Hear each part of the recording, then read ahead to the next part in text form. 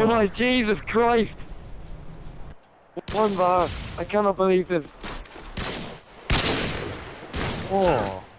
Holy shit.